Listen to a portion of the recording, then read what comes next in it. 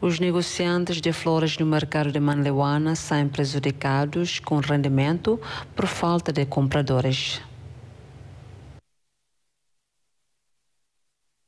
Cecília Borges, uma negociante de flores, disse ter lucros de 20 dólares americanos por dia na véspera do Natal e do Ano Novo.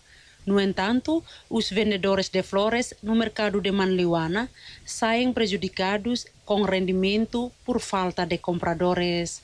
Estes mostraram-se tristes por continuarem a plantar os novos rebentos das flores e cuidar as flores diariamente, mas sem compradores. A RTTL constatou que as flores murchas nos espaços públicos em Delta e Barupité. Gracilda Oliveira, Lídia Martins, RTTL. Hai, telespectadores atuhedan informação atuais no factuais que lua inscreva no hanehan botão notificação, pode for comentário no faz tutan, ba merecê-lo.